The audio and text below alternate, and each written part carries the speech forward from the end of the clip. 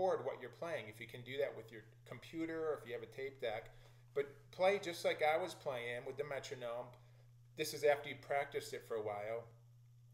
And then go through it and play it when you feel like you've got it down and record it and then listen back to it. And and it's surprising what you hear when you're listening back and not playing. Sometimes we're so focused on playing, getting the right notes, getting the rhythm, that we're, we're not really listening to some of the details of what we're playing. So when you're listening back, your brain is free to totally focus on what you're listening to. You don't have to worry about the notes or the rhythms. Um, and the reason I say that is because sometimes you pick out things that oh wait, that's not that's that doesn't sound like it's swinging. That's not really delayed. I rushed that. Um, I remember when I was younger, I, I, you know I would hear a recording after we did a concert, like a jazz band concert. I had a big solo or whatever, and something I thought was hip, like bending the note.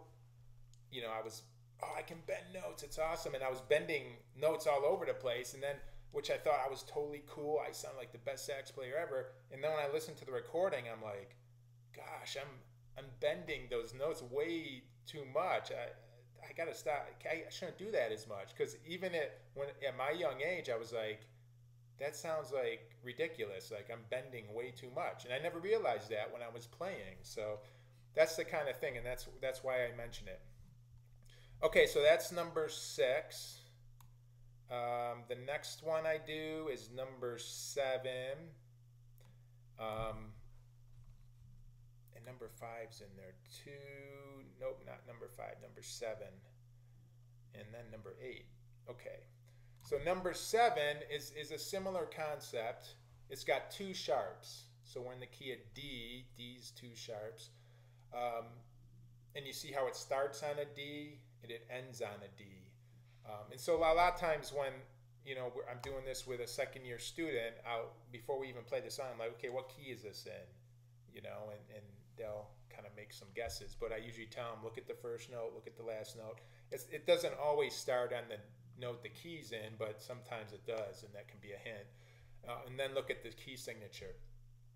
But the rhythm here is similar to the other rhythm, except that eighth note isn't short, it's, it's tied to a half note.